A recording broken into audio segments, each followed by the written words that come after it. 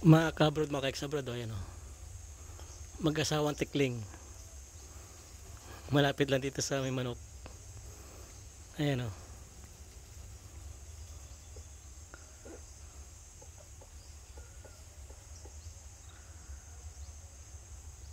Ay, napalis na.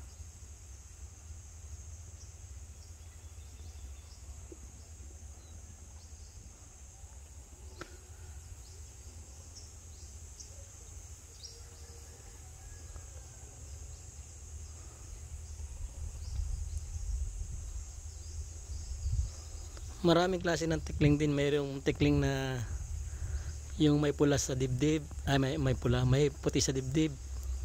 Ito naman, may puti sa may parting tainga.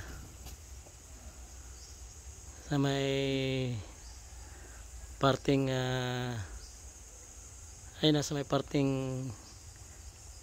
uh, tainga papunta sa may balikat. Asa na ba yun? Wala na siya. Hindi ko na makita. Ayun. Ayan o.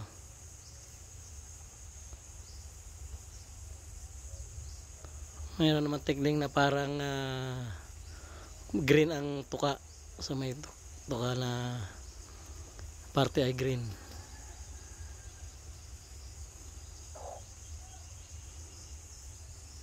Ah, ayan o. Malapit na malapit lang dito sa harapan ng bahay kubo. Ayan.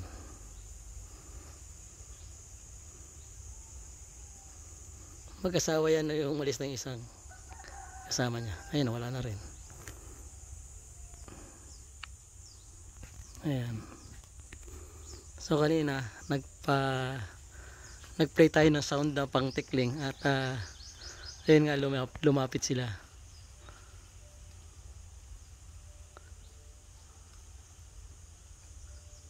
Dati, namamaril tayo niyan.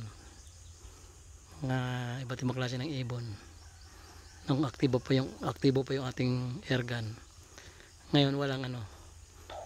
Walang air. Gun lang meron. Kaya hindi natin na magamit. Anyway, wala pa naman tayong balak gamitin. Ah, gusto nga natin na bumait yung mag-asawang tikling na yan na magpabalik-balik siya dito. Ayun na, sa may unahan na ng ah, niyog.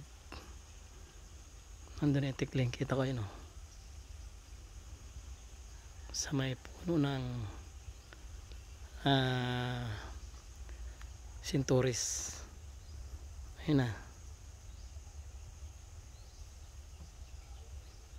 Ayun na siya.